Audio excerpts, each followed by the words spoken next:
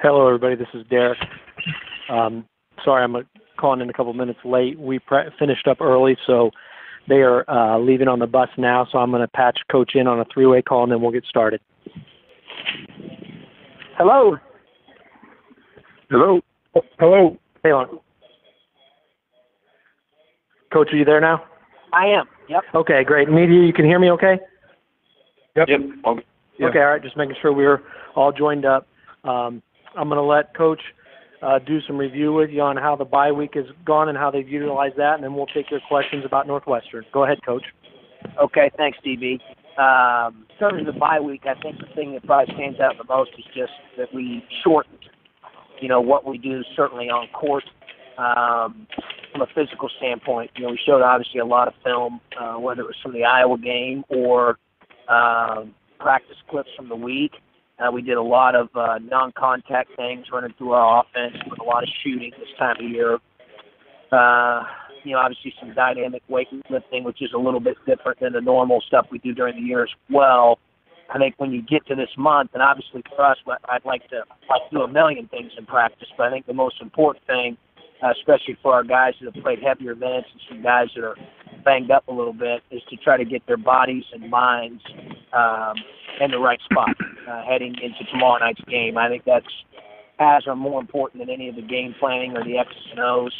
Uh, so we really spent this week working on minds and bodies more than anything else. Thought we got that accomplished, and uh, I think you know today you could tell guys were excited. They they were a little bit more bouncy uh, because we had shortened up some things this week. So that I thought that was good, refreshing for them.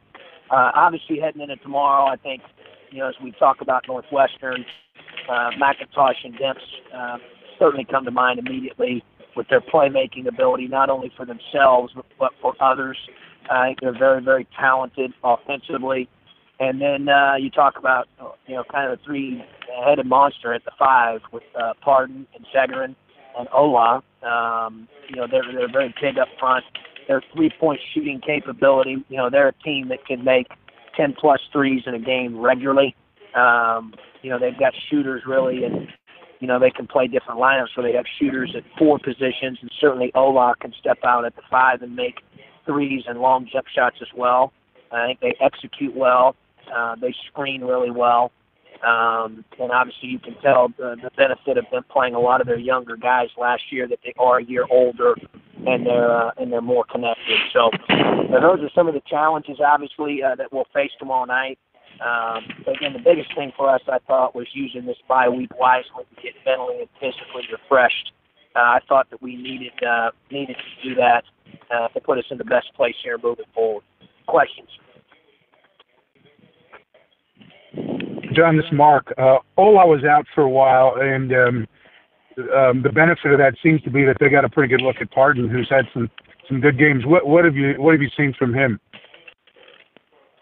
Obviously, a guy that plays with a lot of motor and energy. Uh, he's good on the backboard. Uh, does a great job of finishing in and around the basket. Um, you know, obviously his uh, you know most highly touted or, or prolific game, scoring game he had, rebounding game was the first one. He came off the red shirt. He had 28 12 at Nebraska, uh, which is not easy to do. But uh, the thing I appreciate the most about watching him certainly is his motor.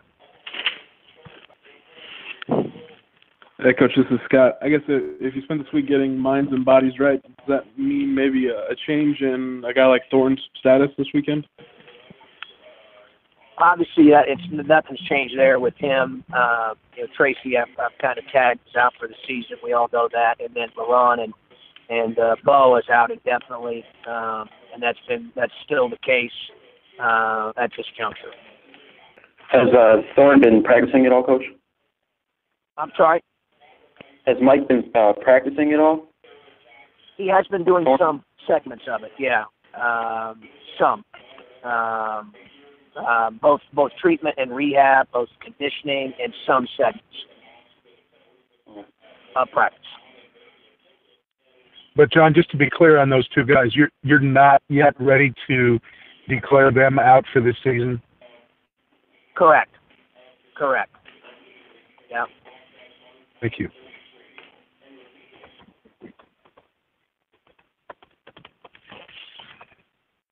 Coach, uh, you guys have kind of struggled stopping opposing point guards, um, especially getting to the paint. And like you said, McIntosh is a good one. So, I mean, how do you expect to stop him on defensive end? Maybe some different looks, different people guarding him, or what's the game plan there? Well, the biggest thing right now, especially this time of year, I think a lot of teams kind of are who they are, um, and you got to get better at what you do. You know, um, you know, obviously you can throw certain wrinkles and you can adapt and adjust here, not only uh, in game prep but in the middle of the game as well, and make adjustments. But all in all, you know, you kind of are who you are, and you got to do what we are supposed to do better, uh, with more energy, with more focus, uh, with more consistency, more sustainability. Those are some of the things that we talked about this week. We showed a lot on film. Um, you know, certainly honed in on a few areas and got, I thought, better at those things. But you know, this time of year we try to utilize film um, probably a little bit more, uh, just because we know it has been a long season and uh, our bodies have been physically taxed. And um, you know, I want to make sure that uh, you know that we don't lose the game before it's tipped. You know, we want to make sure that guys are mentally and physically ready to go and I thought we did a good job of that. I could tell today in practice those guys were, you know, we looked fresh, fresher. You know, I don't know if there's such a thing as totally fresh in February. You know, that, that for anybody in any team, uh, and any player certainly that's played significant minutes because it is long. So no one probably feels great, but you're trying to bridge that gap and get them to where their minds and bodies certainly want to continue to play with great energy, great focus, and uh, you don't get in your own way. And I, again, I thought that's what we accomplished more than anything else this week. John, uh, DJ had a good game last time out. Is there any carryover from that, where where a young guy has, has a good game, and then you notice in practices that follow that game that he's got a little more, you know, hop in his step and so forth, that he's he's excited about what he did. Yeah, no, he's practiced very well. Uh, I think he did a good job of piggybacking uh, last weekend to, you know, how he's played this week in practice. Um, you know, he's he's uh, he's had a really good week of uh, practice. I thought he was probably his best day yesterday, and today was a harder day to gauge because it was so short. I did some good things today, but um, I think he's valuing taking care of the ball a, a lot more. Uh, his preparation and routine for games and practices uh, with the consistency there has been better, and uh, he's getting better defensively. He was active on the glass, and he's provided us with energy you know, when he plays with energy and great effort and has enthusiasm like you saw on Sunday and he did this week during practice, then there's no question uh, that he can help us and that potential and talent that he has starts to get unleashed. You know, it's when he has inconsistencies in those areas where, you know, sometimes he stays locked up. And um, I mean, we've talked a lot about that. I think he's understands that, values all those things more, and uh, has really has really gotten better. Uh, and hopefully, you know, he continues to build on how he played last weekend and how he's played this week in practice. Coach, this is Derek. Could you talk about how Nunn and Finke have looked uh, with this bye week? Obviously, we're banged up prior to that. Sure. Yeah, obviously it was helpful. It was a good time for both those guys. Uh, you know, I thought it was great for them. The timing was good. Uh, both guys, I really certainly respect and appreciate uh, at a high level because you know those guys have played dinged up here for a little bit. Um, obviously, uh, you know they're a big they're a big part of certainly what we do. So both guys are pretty tough guys, and uh, I do think this week certainly helped them get a little bit more healthier and feeling a little bit better. That's not only good for tomorrow, but uh, force down the stretch here. Any final questions?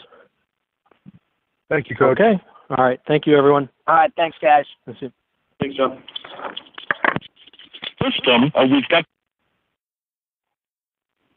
know what? I don't know if I want, but I'm, not coming with you yet. I think I probably will get one. I'm going to bring my laptop.